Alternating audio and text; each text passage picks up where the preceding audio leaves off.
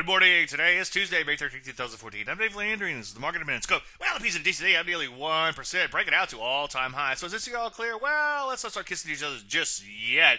As usual, follow through will be key. Take things one day at a time. Nasdaq had a decent day, up a little bit more than one and three quarters percent. So far, though, downtrend remains intact, and it does remain a little choppy shorter term. Take a look at the Rusty, a little bit more truer downtrend, as you can see. Although it did have a decent day yesterday, up over two and a quarter percent. So I wouldn't get too excited just yet. Yesterday, notwithstanding, most of the rally has been led, at least in the P's, by these defensive related issues. And I'm just having a hard time getting too excited about those. The other problem is what's going to happen when, not if they correct. On the short side, there's some high flyers still in here in technology that are beginning to roll over. I keep an eye on those issues just in case the market stalls out. Any questions, as usual, Dave at DaveLandry.com. I'm Dave Landry, and you just heard Market a Minute.